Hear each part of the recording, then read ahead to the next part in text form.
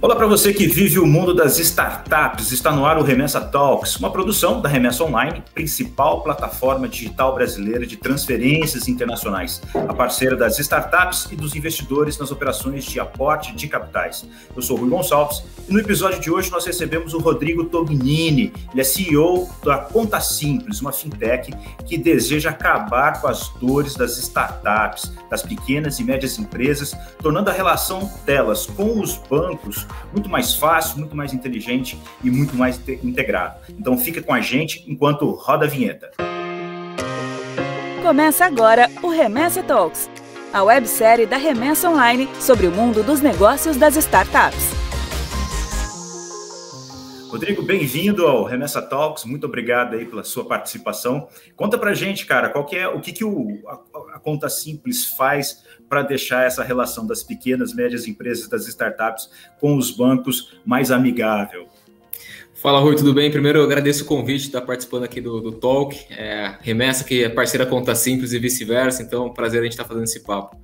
Contando um pouquinho da Conta Simples, acho que falando rápido de como surgiu e de como a gente chegou onde a gente está hoje, né, e o que a gente está resolvendo, é, a gente percebeu no mercado, acho que muita gente já percebeu também que, que o modelo de banco tradicional para as empresas, startups e PMEs é, ficou ultrapassado. Né? E a gente percebeu isso numa, numa startup que a gente tinha, que era uma outra fintech também. A gente começou o negócio, o negócio é, era bem promissor, na época a gente estava construindo uma plataforma de pagamento por QR Code, não existia o Pix ainda. É, acabou que não escalou muito, mas eu, assim, a gente entendeu muito do mercado. E, e, nessa oportunidade eu era o sócio que tocava a parte financeira. Eu tinha que fui o sócio que foi abrir a conta no banco, que tinha relacionamento com o produto, com o gerente. E, e, e toda a experiência foi um pouco traumatizante, assim, posso dizer, né? E vários problemas. Então, desde a abertura da conta que demorou mais de um mês mais ou menos e duas idas à agência só para levar documento. O produto quando a gente abria lá o internet banking do bancão era aquele negócio super complexo. É, a gente precisava de um cartão para fazer despesa online, não conseguia, né? Para pagar AWS, Cloud, Google, Facebook, a gente não tinha. Tinha que usar o cartão da pessoa física, misturava tudo. Contabilidade ficava super feliz, né? É, então a gente começou a ver várias dores que a gente começou a entender que o modelo do banco tradicional pro, pro PME, para startup, não estava não tava funcionando. E isso foi final de 2018, ali, início de 2019. E aí a gente percebeu também que os bancos digitais que já estavam para a solução de conta pessoa física não atendiam a pessoa jurídica. E foi aí que a gente foi entender várias coisas da pessoa jurídica e da startup. E que a gente sentiu na pele, né? Porque a, a, o que a gente percebeu é que os bancos digitais de pessoa física estavam tentando replicar o mesmo produto para pessoa jurídica com o board de pessoa jurídica. Só que o produto não resolve. Né? É uma empresa, uma startup que já está ali com seus 30 colaboradores, levantou já uma ou duas rodadas de investimento, é, já tem algumas operações que não dá para fazer tudo pelo aplicativo, tem que usar o internet banking. E os bancos digitais, nem os tradicionais, tinham um internet banking adequado para essas operações. E que operações são essas, né? Que operações são essas? Por exemplo, conciliação bancária, gerenciar contas a pagar, folha de pagamento, processar os pagamentos de salário, acesso a cartões corporativos, né? E descentralizar os pagamentos de cartão, pagando só é, mídia, software, clouds, é, fluxo de caixa. Geralmente essas contas, quando a empresa começa a crescer, tem mais de uma pessoa acessando a conta então regras de permissionamento de usuários.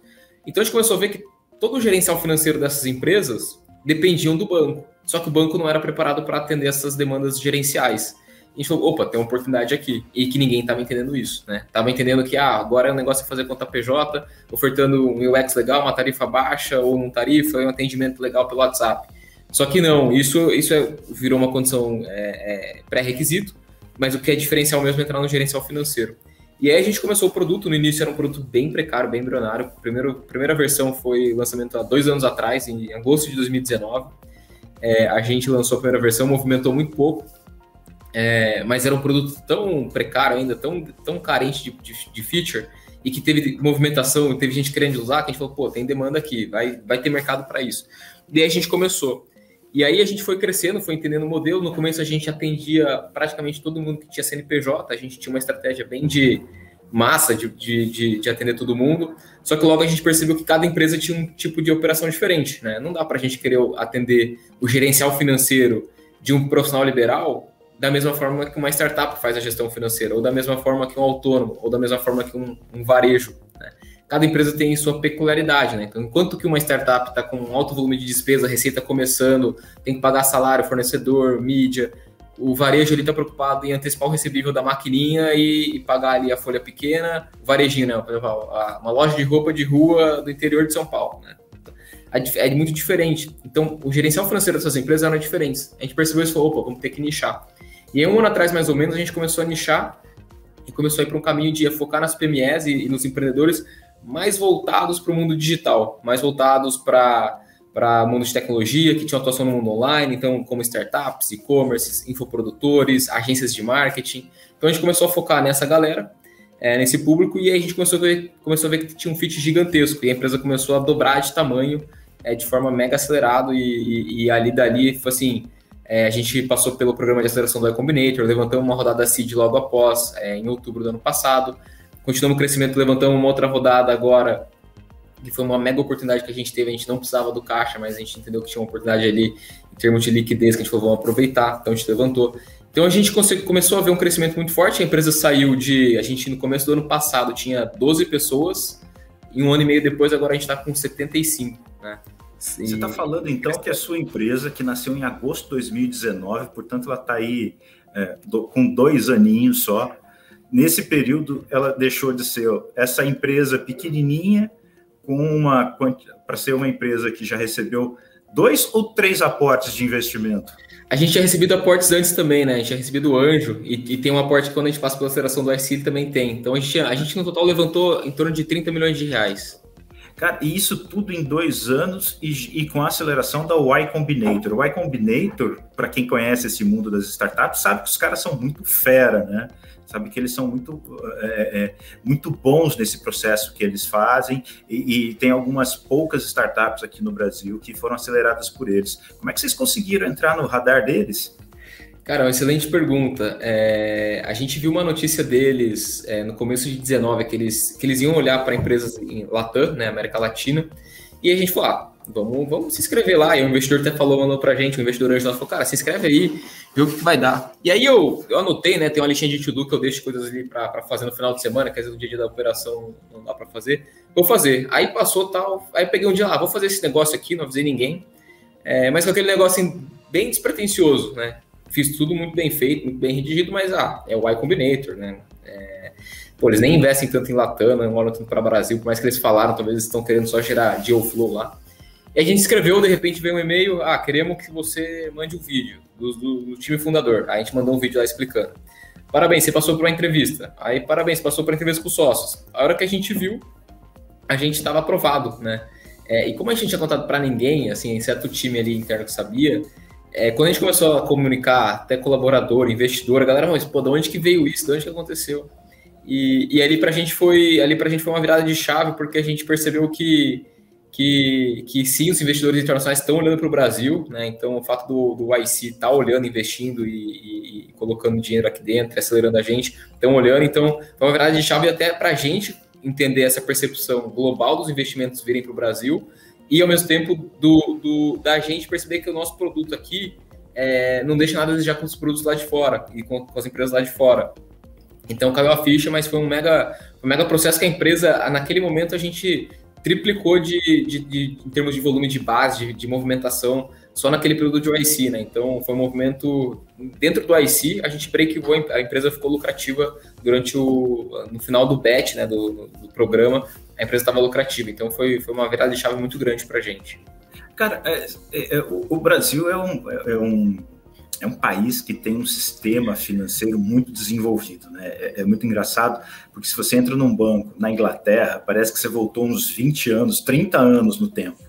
E a gente está muito moderno, a gente está muito é, é, digitalizado, é, é, a gente está num outro patamar comparado com outros países do mundo, muito em função das complexidades, daquela inflação que a gente carregou durante muito tempo, das questões de segurança que fazem com que a gente seja efetivamente um, um país bastante desenvolvido nessa área. Como é que é ser uma fintech é, de três caras bastante jovens que não tem cara de banqueiro e montar um banco para brigar com esses caras gigantes? Dá trabalho, viu? É, montar banco dá trabalho. É, mas eu acho que é, é, o que você falou, né? O sistema nosso ele é muito quando a gente olhou essa comparação com, com, com, as fintechs lá de fora, a gente viu que a gente não deixa nada a desejar, né? Coisas que a gente, às vezes, a gente faz um pouco operacional, ainda fala, pô, podia automatizar isso aqui, podia trazer um pouco de tecnologia ali. A hora que vai lá fora, tá tudo igual ou até pior, né? Então a gente fala, opa, não tá, a gente não tá tão, não tá tão distante assim. É, mas é um desafio, né? Então a tecnologia ela vem avançando bastante e, e isso é bom, isso é ruim, porque a, o custo de troca, a barreira de, de, de, de desafio e de complexidade para começar uma fintech hoje no Brasil, ela é muito menor do que três anos, dois anos atrás e muito menor que cinco anos atrás. Então isso ao mesmo tempo aumenta a competição, né? É, mas ao mesmo tempo, é, é, quem vai ganhar esse é o cliente final. É, são as empresas, são os empreendedores, são as pessoas físicas, todo mundo vai sair ganhando, né? Então, com a tecnologia, a gente consegue hoje criar sistemas via APIs que a gente integra com o sistema financeiro e consegue trazer uma solução de conta corrente, trazer uma solução de fintech, substituir o trabalho de um banco tradicional através de tecnologia, né? Então, então, isso a gente consegue fazer, obviamente, é o que você falou. O sistema, ele, ele, o Brasil é bem desenvolvido nesse sentido, em termos de segurança, de, de transações. O, o, sistema do Pix agora, né, de pagamento instantâneo, tá, tá dando o que falar é, globalmente, né? Então, a gente está se tornando já um, um, um, case de sucesso com o Pix no Brasil, né, né no Brasil lá fora. Então, então tem muita tecnologia aqui que dá para dá para escalar e dá para fazer. O lado, a moeda sempre tem dois lados, né? O lado vou falar assim, entre aspas, é, que dificulta é que aumenta a competição também. Mas no final eu gosto de falar que quem sai ganhando é o, é o, é o, é o cliente final. E, ao mesmo tempo, é, tem que ter competição, que com isso o, a, o nível de serviço para o cliente final aumenta, né? Então, acho que uma das questões da ineficiência hoje dos produtos financeiros, seja para pessoa jurídica ou pessoa física, foi o que aconteceu, veio acontecendo aí de uns 10, 15, 20 anos atrás, que foi a concentração dos bancos, né? Então, um banco começou a comprar outro, e a hora que a gente viu, 80% e 5% estavam na mão de cinco grandes bancos, né? Então, isso cria uma ineficiência de mercado gigantesca. Então, ao meu ver, o bolo está mal repartido, né? E as fintechs têm que vir com tudo para a gente repartir melhor esse bolo. E pode ter competidor que no final do dia vai estar tá tudo bem, é, é bom para o mercado, é bom para o cliente e tudo mais. Tem banco te rondando? Ah, não posso falar que não tem, mas não posso falar que tem. Digamos assim que, que vocês são uma garota bonita no, no, numa noite no é, bar, né? Em época chamar, sempre pandemia. Começamos a chamar a atenção, com certeza. E aí, e aí, só que a gente está num momento muito positivo de empresa, a gente acaba nem, nem dando tanta. Assim, a gente trabalhou tanto para chegar nesse momento e ter tanta e ter tudo na nossa mão que a gente quer fazer e que a gente quer inovar que, que a gente tem que ponderar muito qualquer movimento desse tipo, né? Então, então, então no começo era aquele negócio de tentar captar o primeiro investimento, grana curta, vender o almoço para pagar a janta, como a gente gosta de falar. A gente teve que ser muito é, eficiente em capital, em alocação de recurso. Então, agora que a gente está capitalizado, agora que a gente está com um time excelente aqui dentro, que a gente vê um mercado gigantesco de oportunidades, é, a gente quer se divertir também, né? Então, então, então tem uma trajetória longa aí mas, mas sim, o, o mercado ele acaba olhando e acaba, acaba chamando atenção, sim. Agora me diz uma coisa, como é que vocês conseguiram fazer isso tão rápido? Né? Vocês correram ou meio que vocês foram empurrados para fazer as coisas acontecerem nessa velocidade? Excelente pergunta. A gente correu e corre é, constantemente, né? Então a gente gosta de falar que a gente não está numa sprint, numa corrida de sprint, nos 100 metros rasos, mas a gente está numa maratona mas estou começando a achar que a gente está em ritmo de sprint correndo maratona. Isso é até um, é um cuidado, né? É, tem que tomar cuidado. Mas a gente teve que acelerar e a gente está acelerando constantemente, porque muito pela competição, mas também ao mesmo tempo que a gente vê tanta oportunidade, tanta coisa legal para fazer, que gera aquela ansiedade do empreendedor de querer sair fazendo e entregando e gerando resultado e vendo você impactar em clientes, impactar mercado. Então é, uma, é um ciclo virtuoso que quando você entra é, é, tão gostoso que é difícil você sair. E aí você acaba entrando nesse ritmo louco de, de crescimento e, e, coloca, imprimindo, e coloca imprimindo muita velocidade no processo ali. Né? Então, então a gente a gente é sim imprime muita velocidade.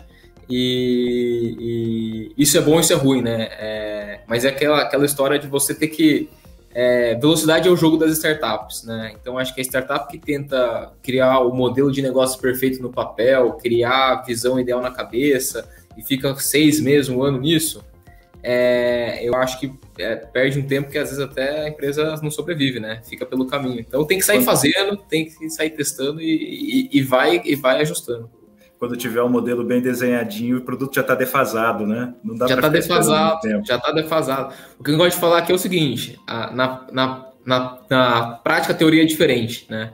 Então, então assim, tem que ter a teoria para começar, mas tem que ir para a prática. Que agora que você vê, o que você colocou no papel é diferente da prática. Ponto. Mas você tem que ter algum ponto de começo. Mas não tem que esperar que esteja tudo perfeito, redondo desse lado aqui para começar. Começa, né? E, e, e a, a, máquina ela, ela, ela se ajeita muito. E aí é muito importante estar em contato constante com o cliente, estar atento ao mercado, atento a todos os feedbacks possíveis. E com isso você vai tendo insumo para melhorar. Né? Então, então é, é, esse modo constante de buscar feedback, aprendizado e, e, e ação para corrigir. Né? Você começou dando uma receita de bolo aí, né? Dizendo quais são os ingredientes, né, para você fazer o negócio rodar, né? É, quem te ensinou isso? Foi a aceleradora ou foi o dia a dia na, sentado nessa cadeira aí? Olha, é, eu, eu, li uma vez que tem aquela, aquele, aquele, aquela regra, né? 70, 20, 10. 70% é prática, 20% é mentoria, curso tal, e 10% é treinamento. E eu acredito muito nisso, né? Então, acho que a prática, ela, ela, ela, ela é valiosíssima é, então, obviamente, a gente aprende muito, tenta aprender muito com, também com os outros, né, com os acertos e erros dos outros. Né, então, a gente sempre gosta de estar cercado de outros empreendedores que já estão em fases mais avançadas. A gente tem alguns investidores anjos que predominantemente são, são empreendedores também, então isso acaba ajudando a gente na curva de aprendizado. É, mas a prática, a prática é a prática, não tem, não tem, não tem escola melhor, né, do que você se arriscar, tentar e colocar em operação. Eu gosto de contar que tem uma história. Eu, eu uma vez fui fazer um curso na Colômbia com o Steve Blank. O Steve Blank é aquele cara que escreveu um livro de Startup Manual, que é um, uma bíblia, assim, para todo empreendedor já deve ter ouvido falar disso, ou que não escutou, dá uma googlada depois. E era com o curso o Steve Blank. A tese do curso era Get Out of the Building, construir um modelo de negócio, mas sai do, sai do escritório, sai do prédio, vai conversar com as pessoas, vai validar. Ficamos lá duas semanas fazendo isso, Nova York, no frio tal, não sei o quê. Falei, pô, get out of the building, esse é o negócio tal beleza, fiz o curso. Na minha primeira fintech, que eu, que eu montei com o Fernando, meu sócio, que hoje é sócio aqui também, fizemos tudo ao contrário. É, fechamos um escritório, pegamos lá turma de tecnologia, compramos um notebook e aí vamos desenvolver código. E aí ficamos quatro meses desenvolvendo código. E aí a hora que a gente colocou o negócio de pé no ar e vai, valida, e a gente na nossa cabeça, né? Não, tem que ser assim, tem que ser assado, e muda isso, muda aquilo. A hora que a gente colocou no ar, o negócio não, não escalou, não rodou, né? Então, assim, lá no curso, que eu tinha feito já, era uma coisa, mas na prática eu fiz totalmente oposto. E aí, e aí, e aí a, a, a, lição mesmo foi na prática, né? De não ter conseguido escalar esse negócio. Então a prática, a prática é a melhor, a melhor professora aí. Cara, você me falou uma coisa que eu me lembrei de uma outra startup que também foi acelerada pelo Y Combinator, a que era educação. Quando eles começaram, a história foi a mesma. Eles desenvolveram um produto, fizeram tudo ele bonitinho e tudo mais, foram para o mercado, o mercado falou, cara, não é isso que eu quero, o que eu quero é aquilo. Eles voltaram para a prancheta e, cara, em poucos dias eles fizeram lá a solução que acabou sendo a, a base da, da, da, da empresa, que é o, a plataforma que era o Bolsa, e cresceram loucamente, né? Mas o Bernardo, que é o fundador dela, sempre falava, falou, cara, eu fiz tudo, tinha tudo bonitinho, tinha tudo no papel. Quando eu cheguei lá, que eu fui falar com os caras, não era isso que eles queriam, né? Tudo diferente, então, né? É, é, esse é o ponto, né? É estar é, é, é tá ouvindo o cliente, né? Não adianta, senão você vai gastar energia à toa, né? Ouvindo dito e não dito também, né? Mas é isso aí mesmo. É excelente, excelente exemplo.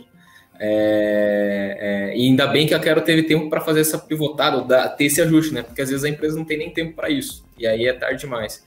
Então, quanto antes conseguir validar, conseguir testar, conseguir é, é, entender as nuances ali do seu cliente, do produto que você entrega, uma coisa é certa: a primeira coisa que você pensar como ideia, como modelo, alguma coisa vai estar errado. Né? Se não tudo, mas alguma coisa vai estar. Às vezes não é o canal de distribuição que você pensou, às vezes não é o modelo de precificação, às vezes não é a feature que você tinha pensado, é uma outra, às vezes não é, não é aquele canal é, é, de marketing. Então, alguma coisa vai estar vai tá, vai tá fora do que você pensou e você tem que ir ajustando. Eu gosto de falar que eu comecei a ter a sensação, né? Montar empresa, é, startup, é um quebra-cabeça de 10 mil peças que você espalha, esparrama assim em cima da mesa, só que não tem a caixa com a foto. Você tem que ir descobrindo ali na, na no, no, teste erro, né? E, e, é um trabalho árduo, resiliência, e, e vai, então... E o que está pegando hoje, Rodrigo? Que que, quais são hoje os grandes desafios que você sente na pele e que você entende que é um desafio bastante é, comum para todo mundo que está tocando uma startup hoje, né? É marketing, é time de desenvolvimento, onde é que estão tá os, os, os, os calcanhares de Aquiles dessa história? Excelente pergunta, né? Acho que as fases da empresa, tem aquele livro, do, aquela tese do Blitzscaling, do Reid Hoffman, é, que eu li um pouco antes de empreender, e eu super concordo. Então, depende da fase que a empresa está, ela tem um desafio diferente, né? Então, no início é muito a questão de qual que é o, a concepção do modelo de negócio, do produto, aí a hora que você coloca isso de pé, qual, se você achou o product market fit ou não, se você está tendo tração no que você desenhou, se está tendo demanda de cliente vindo, CAC baixo, se aquele negócio acontece, se acontecer, aí o desafio é você replicar isso, que é exatamente o que a gente está agora, né? A gente a gente está numa fase de scale up, então o time hoje está com 75 pessoas, como eu falei, é, e, e, o desafio grande é a gente como que a gente consegue continuar crescendo é, é, essa máquina conta simples, ao mesmo tempo crescer time, né? estrutura, processo, contratação de gente, treinamento, é, é, é, consolidação da nossa cultura. Né? Então, o nosso papel como fundador, né, ele, ele acaba mudando um pouco. No começo a gente está assim, dia a dia com o produto, a gente está desenhando o produto, a gente está entrevistando o cliente, a gente está atendendo, a gente está fazendo o financeiro. Quando começa a crescer, a gente começa a ter pessoas fazendo esses processos. Então começa a ser um desafio de como gerenciar as pessoas para fazer os processos que antes você fazia, né? Então entra desenvolvimento de liderança, entra, entra desafio de, de delegar processo, de, de, de largar o osso, sem perder a essência inicial que foi fundamental para chegar nesse patamar, né? Então a gente está exatamente nesse momento agora, né? Então então, assim, a gente. Por isso que trazer gente boa, e, e aqui na Conta Simples a gente tem, tem, um time excelente em todas as frentes, todas as áreas. É, é, só que por tamanho que a gente quer, todo mundo tá pedindo mais gente. Fala, pô, traz mais gente para mim, eu quero ter mais gente de tecnologia, eu quero ter mais um parceiro aqui para fazer isso, para fazer aquilo. Então a gente. O desafio hoje é a gente, então a gente está construindo cada vez mais uma máquina de aquisição de talentos, de pessoas, né? É, para a gente atrair potenciais é, líderes aqui dentro, né? E, e continuar replicando isso. Porque hoje a empresa tem 70, daqui a pouco a gente vai ter que ter é, 200 pessoas, né? E o processo contratação de, de, de uma empresa que tem 70 para que tem 200 é diferente, né? Você está falando de uma coisa que, que, que, é super sensível e que as pessoas só, só pensam nisso quando as coisas quando começa a acontecer, que é justamente a transição entre o cara que colocou a mão na massa, teve a ideia e colocou a mão na massa, para o cara que deixa o pessoal, alguém tocando a, a operação para começar a pensar em negócio pensar em liderança. Essa transição é super delicada, porque você é, é, é, é muito certamente é muito mais fácil você desenvolver um produto do que você liderar um time para desenvolver produto. Como é que você faz esse processo de transição? E vocês foram obrigados a fazer isso muito rápido. É, dois anos não dá para amadurecer o suficiente para fazer uma transição dessa com tranquilidade. Como é que foi esse choque para largar a, a, a, o desenvolvimento e virar um gestor, virar um líder, um cara focado em negócios? Excelente pergunta. Estou em processo de descoberta ainda, mas acho que um pouco do que eu já vivi na pele posso compartilhar aqui, né? Primeira coisa é trazer gente acima da média. Gente que é melhor do que você. Ah, clichê, todo mundo fala isso, traz gente que é melhor que você, não sei o que lá.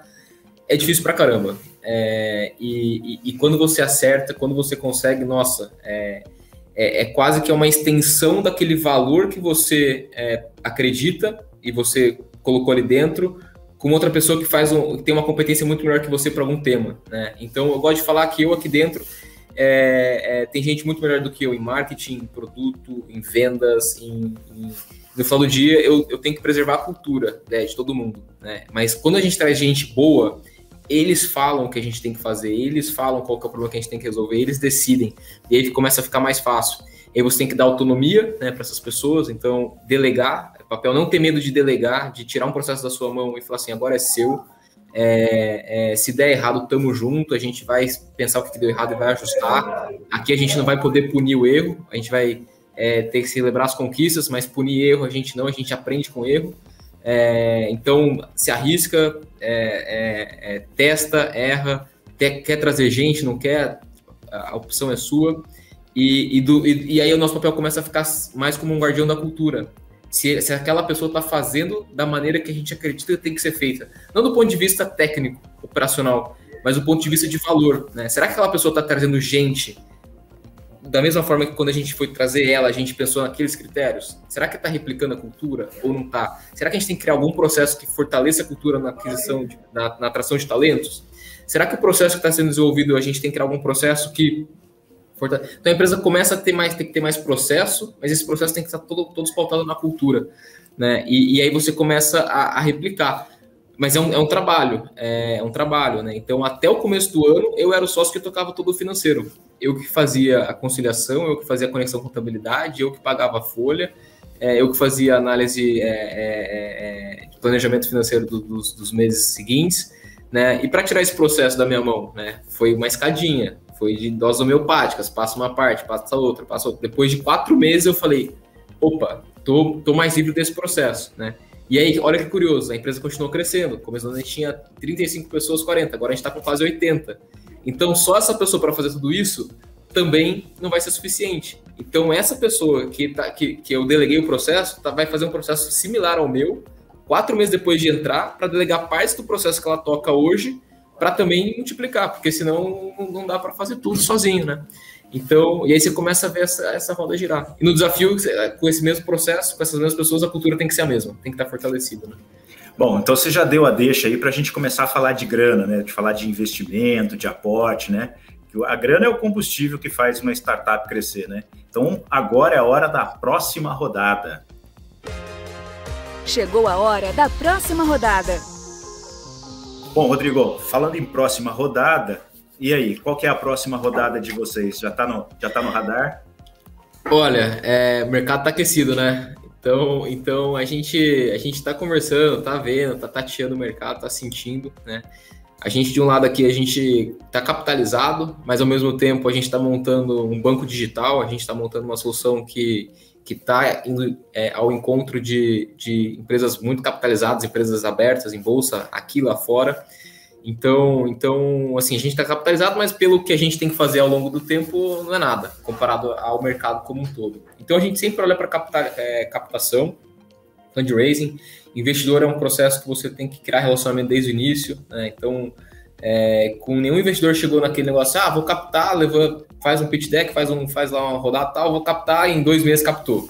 Não, né? com ninguém, nem com os investidores que falam, ah, levantei no PowerPoint. Esse investidor, esse empreendedor já provavelmente conhecia esse investidor de outro negócio que ele ou foi um head, ou foi um sócio numa startup investido desse investidor, ou ele foi é um second time entrepreneur.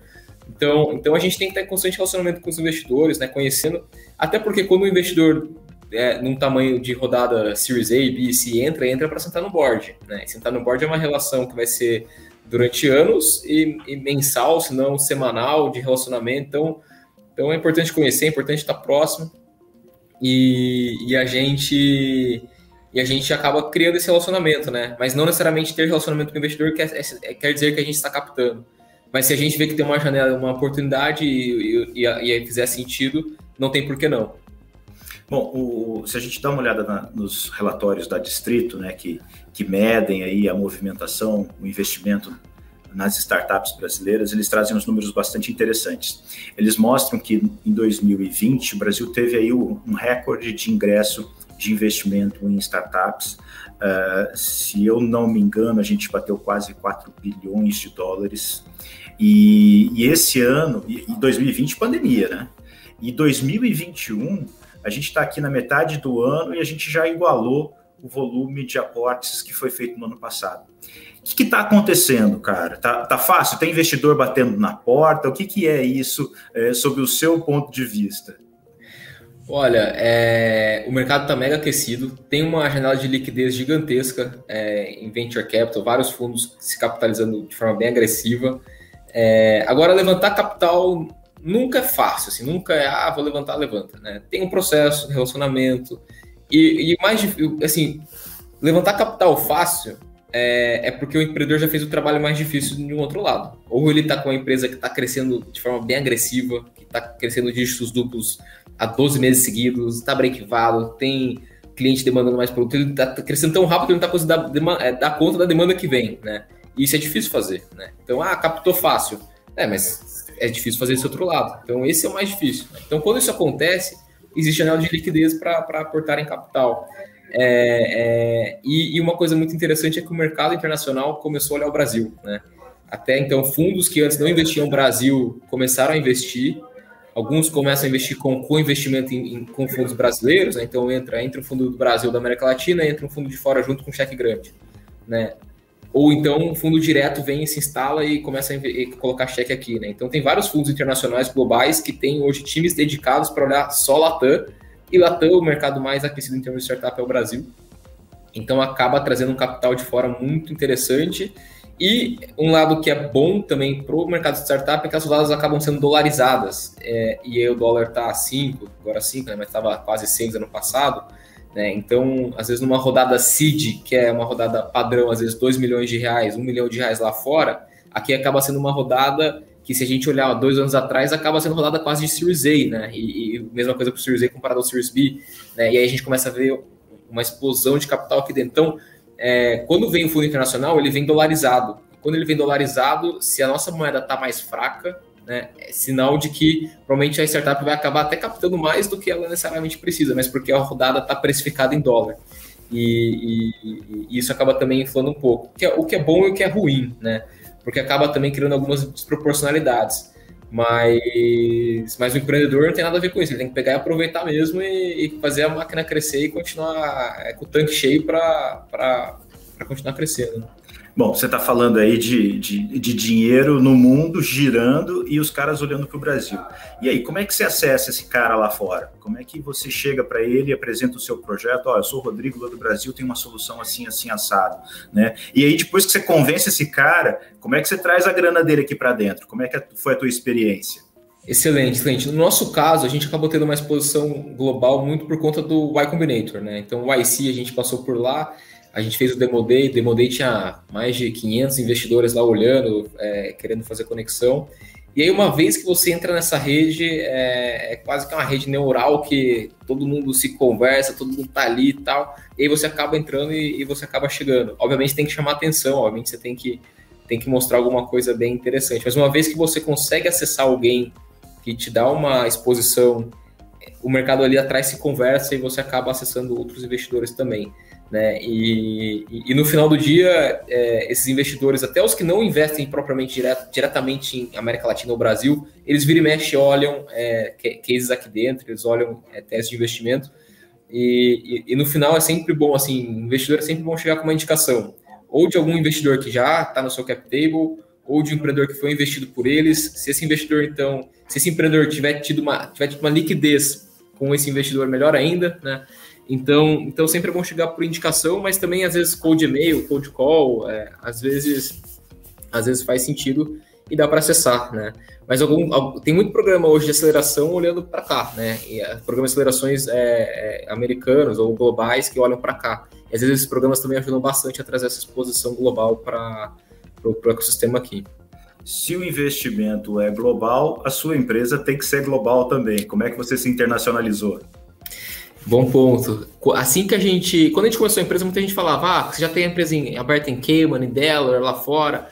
A gente falava, não. Mas por que não? A gente falava, ah, porque nenhum investidor pediu ainda. Aí quando a gente passou no IC, né, na aceleração lá no BET, aí o IC falou: a gente só investe em empresas que estão incorporadas é, é, é, ou em, nos Estados Unidos, ou em Cayman, no Canadá ou em Singapura. E a gente tinha que abrir empresa lá. Daí a gente foi consultar os advogados, né? O que, que a gente tem que fazer? Pô, abrir empresa lá fora, como que é isso? Vou ter que ter a empresa lá fora, ter que pagar imposto lá fora, como que é. E a gente foi ver que é uma estrutura muito padrão, é, que todas as startups fazem, é quando o investidor pede, mas a primeira coisa é que você tem que tirar aquele, da cabeça aquele modelo, aquele lugar comum que fala assim: quem tem conta lá fora está querendo esconder dinheiro. A primeira coisa que tem que derrubar é isso, né? Primeira é um processo tem... normal e é legal, né? É um processo normal, é legal e é uma boa prática, né? Porque você acaba isentando alguns riscos para o investidor, né? Você acaba facilitando a entrada de dinheiro para o seu negócio. Para o investidor, ele consegue trazer é, de, forma mais fácil é, aportar capital na sua empresa. Então, então, imagina o trabalho que o investidor internacional teria que fazer se fosse investir diretamente no Brasil em termos de due diligence, de entender regulamentação, legislação.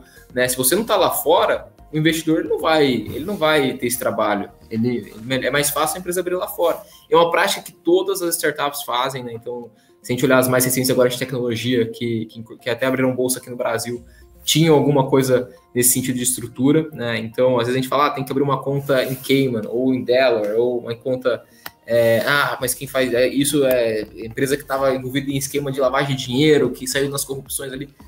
É, sim, porque pessoas mal intencionadas usam o sistema da forma que podem. Em Cayman, em Delaware, no Brasil, em onde ele conseguiu usar. É, é, má intenção não significa que quem está lá também é mal intencionado. Não é, não é porque as pessoas fizeram que quem está lá é, é, faz também, né?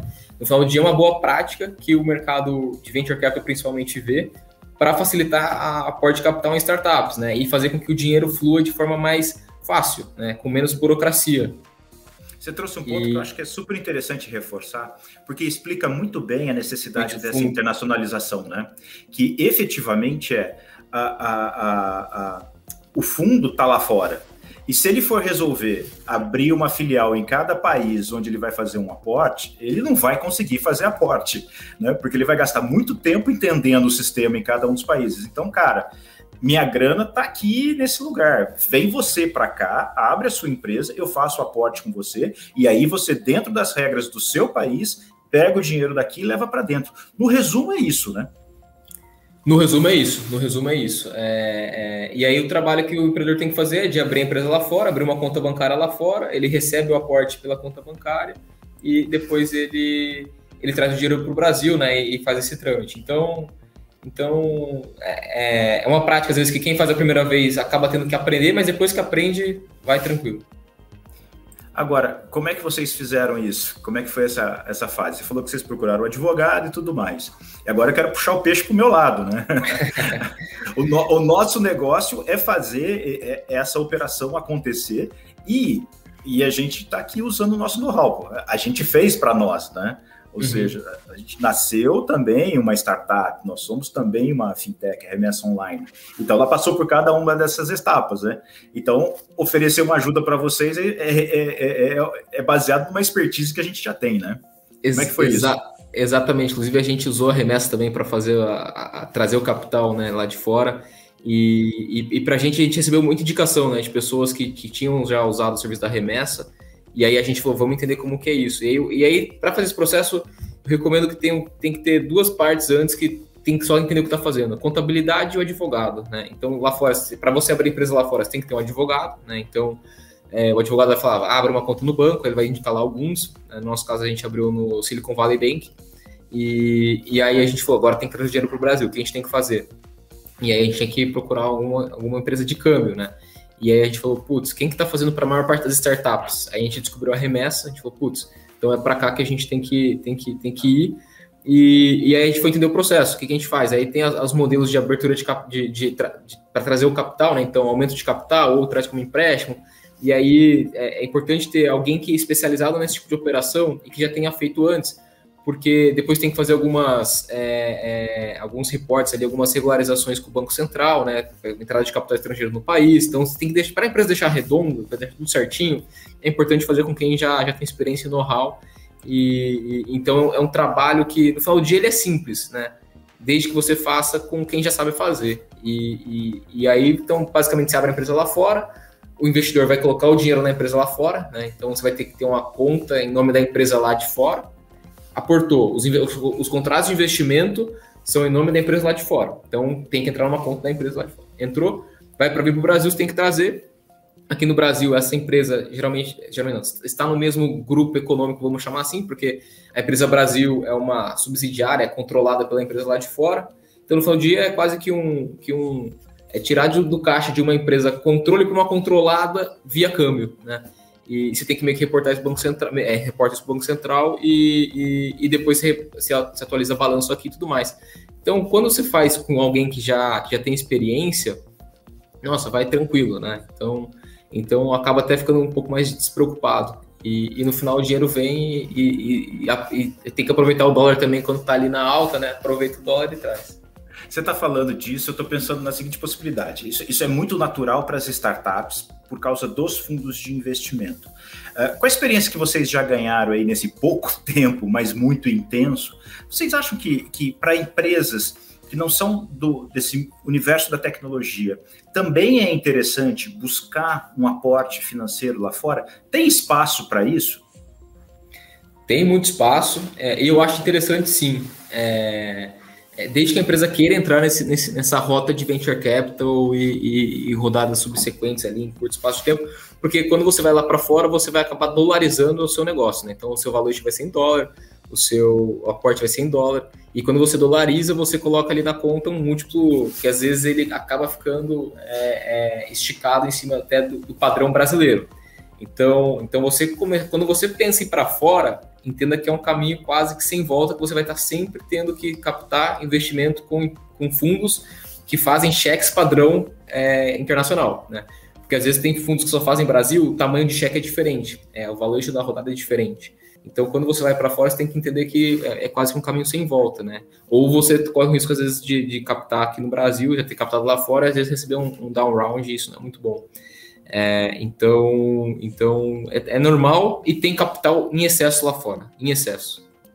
Ou seja, não percam oportunidades. Olhem, aprendam com o que as startups estão fazendo e, e, e tragam dinheiro para fazer o seu negócio girar aqui, que é muito mais barato, é muito mais vantajoso do que bater na porta de um banco, né, né Rodrigo?